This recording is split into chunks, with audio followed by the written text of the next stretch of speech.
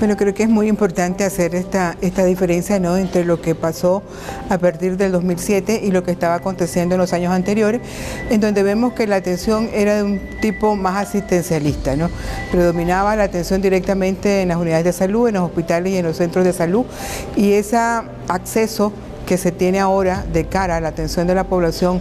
en puntos eh, de mayor problema de accesibilidad, realmente no se tenía en ese momento. Si nosotros vemos alrededor de los hospitales eh, muchos laboratorios, muchas farmacias, que realmente esto eh, se daba porque no se estaba dando la respuesta inmediata a las necesidades de diagnóstico de la población y realmente llegaban a la atención, pero si no les brindaba el diagnóstico ni la parte de laboratorio, se veían obligados no a asistir a esos lugares para poder hacerse las muestras de laboratorio, tomar radiografías y tal vez ultrasonidos en ese momento, eh, tal vez gastando el último dinero que pudiesen ellos obtener o haciendo, empeñando a lo mejor hasta sus cosas para poder realmente tener un fondo para poder asegurar ese proceso del abordaje de la salud. Realmente es, es clave ¿no? todo el esfuerzo que se marca a partir del año 2007, donde ya se define ¿no? una estrategia de salud para toda la población de una manera integral, como vos lo decís, con calidad y con ese cariño que asegura ¿no? que se está garantizando una atención eh, en un ambiente en donde los trabajadores de la salud están en disposición a servir a nuestra población. Realmente ha habido un esfuerzo por asegurar, como vos lo decís, no es un tema de infraestructura, pero sí la infraestructura eh, establece ¿no? las condiciones para una mejor atención de la población, pero también en la capacitación de nuestro personal que está adquiriendo más especializaciones para asegurar realmente la atención como corresponde. El hecho de contar con equipos de tecnología avanzada permite mejores diagnósticos y seguimiento y el hecho de desarrollar estrategias comunitarias que te permiten llevar la salud hasta el último rincón del país. Entonces realmente ha venido dándose un esfuerzo por cubrir más personas cada día, pero no solamente decir llegué, sino que llegué con el especialista, llegué con mis equipos de diagnóstico, aseguré realmente un diagnóstico que ya va a militar o una referencia al hospital para poder resolver o el tratamiento requerido que inmediatamente se anda ahí para dar esa respuesta. Si es un problema odontológico, tenemos la respuesta inmediata. Si ameritas un diagnóstico, se lleva los equipos de ultrasonido a esos lugares para asegurar todo un tratamiento y un abordaje totalmente integral y gratuito. Y eso realmente desmiente esa frase de decir lo barato sale caro. En este caso la gratuidad con esa voluntad nuestro gobierno se ha convertido en un elemento en que se, se caracteriza por atención de calidad, con cariño y con una alta tecnología desde las unidades hasta la comunidad. Realmente ha habido un esfuerzo por no quedarnos en las cuatro paredes y no solo continuar recibiendo a los pacientes, que necesitan atención o también a las personas que acudan a los programas de niñez, de mujer, de cáncer, de salud mental, de crónico, sino también salir a los lugares más lejanos. Y comenzamos con las brigadas médicas, que es el primer esfuerzo que se hace cuando salen las brigadas por varias semanas a dar atención a lugares de difícil acceso. Después tuvimos las clínicas móviles acompañan todo este proceso porque esto permite llevar equipos de ultrasonido, equipos de odontología que te permiten tratamientos directos en lugares muy lejanos de difícil acceso como lo decimos, pero ahora se suma el hecho de llevar la especialidad. O sea, aquellos especialistas que la población solo podía ver cuando era referido de la unidad primaria al hospital, ahora están acudiendo a atender problemas del corazón, problemas renales, problemas de medicina interna, problemas quirúrgicos, problemas de los ojos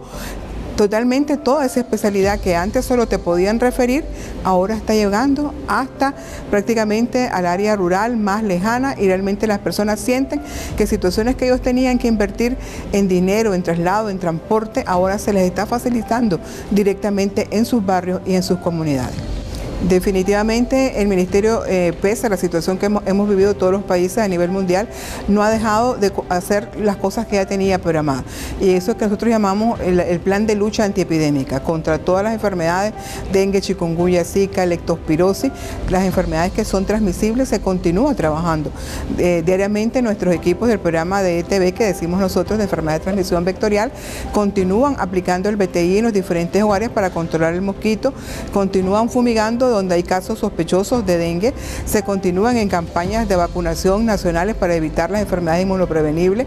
Entramos también en la campaña de aplicación de Biorat para proteger contra la leptospirosis y realmente todas las acciones programadas, las campañas de vacunación general, la campaña de vacunación de influenza que se está desarrollando ahorita en una segunda etapa. Entonces no se ha parado. A la parte que se continúa trabajando en cosas específicas como ha sido la pandemia, continúa haciéndose todos estos procesos a nivel de acceso de la comunidad a la salud y todas las acciones de prevención que tienen que ver con evitar más situaciones de riesgo. Yo creo que esto es muy importante porque nuestro modelo de salud familiar y comunitario tiene una base en la comunidad, una base comunitaria que con la participación de, esa base fundamental es que se desarrollan todas las acciones a nivel de los diferentes sectores, que es el eje más básico de, de nuestro modelo de salud, que tenemos un médico, tenemos enfermeras, tenemos auxiliares que garantizan esa atención y a eso se suma todo ese esfuerzo que sale a través de brigadas, a través de ferias de salud. Creo que es muy importante y nosotros lo venimos manifestando desde su inicio cuando se reportaron a través de la, OPS y la OMS los primeros casos en China, en cómo ese proceso de preparación y el reporte diario que hacíamos de lo que acontecía a nivel mundial hasta que se presentó el primer caso en el país. Y eso estableció que Nicaragua trabajó con anticipación un protocolo bajo los lineamientos de la Organización Mundial de la Salud y de la Organización Panamericana de la Salud, con todos los elementos necesarios para prepararnos desde el punto de vista de la vigilancia, del diagnóstico, de la atención, del seguimiento y eso suma después todo ese esfuerzo conjunto con la comunidad en donde realizamos también visitas casa a casa que fueron claves en su momento, en el momento en que todos los países tenían ese pico ¿no? que se presentó, Nicaragua eh, salió a hacer esas visitas casa a casa con dos objetivos. No esperar que los pacientes llegaran a las unidades de salud, sino captar oportunamente cualquier cuadro respiratorio, discernir si era sospechoso o no y a garantizar el adecuado manejo clínico de esos casos, pero también para dar a conocer de manera directa las medidas preventivas, cumpliendo estas personas que visitaban la casa con las medidas preventivas correspondientes, ¿no? su uso de mascarilla, su sana distancia, entregando un tríptico, un volantito, donde estaban todas las indicaciones en relación a la prevención. Y todo ese esfuerzo se ve con la vigilancia, Realmente nosotros tuvimos un esfuerzo muy importante desde el inicio con los viajeros que ingresaban al país, que en ese momento todavía no se tomaban muestra, pero pasaban a un resguardo en esa etapa por 21 días. Y ahora actualmente nosotros damos un seguimiento de 14 como se ha venido organizando. Y realmente todo este año se trabajó en esa línea. Y esas visitas, ese trabajo integral, esa atención, ese diagnóstico oportuno es lo que aseguró que el comportamiento epidemiológico de, de esta enfermedad se mantuviera en los meses últimos del año en una situación de estabilidad. Y continúa asegurando ya al día de hoy todas esas medidas, sumado a una acción más que es la, la aplicación de la vacuna. Realmente para nosotros es muy importante porque también hubo un plan de introducción de esta vacuna que establecía los grupos de mayor riesgo. Recordemos que la vacuna no está accesible como los países la querramos, sino que realmente está siendo una necesidad para todos y entonces eso hace que no tengamos la disponibilidad de la misma en la cantidad que quisiéramos. Entonces eso nos obliga a nosotros a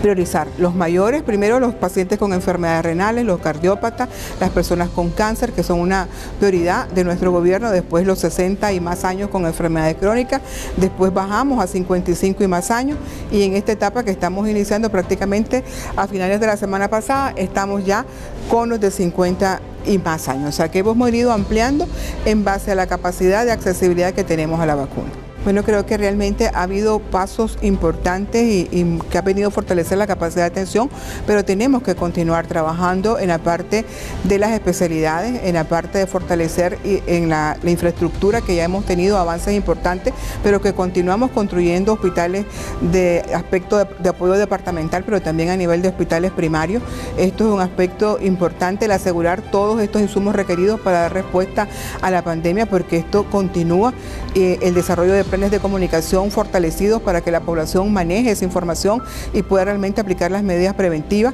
Entonces seguimos en una línea de capacidad de infraestructura, de capacidad de recursos humanos con mayor especialización cada día, compra de equipamiento que venga asegurando la tecnología, no solo en los grandes hospitales, sino que también en los hospitales primarios y mantener esa actividad operativa desde el sector para asegurar realmente todas esas acciones preventivas y prepararnos ¿no? para futuros desastres. Este año pasado fue un año bastante complejo, tuvimos pandemia, tuvimos aspectos de los huracanes y eso nos permite a nosotros eh, en esa preparación anual de todas las unidades de salud, de todos los sectores, en prepararnos ante situaciones diferentes, ya sean desastres naturales o tipo pandemia como la que estamos enfrentando. Entonces todos esos elementos de fortalecimiento son, siguen siendo y continúan siendo desafíos cada año y creo que nuestro buen gobierno ha dirigido esos esfuerzos a asegurar esa fortaleza y esa prioridad desde el enfoque de salud para realmente cumplir con nuestra población en garantizar el derecho a la salud gratuita, con calidad y con cariño.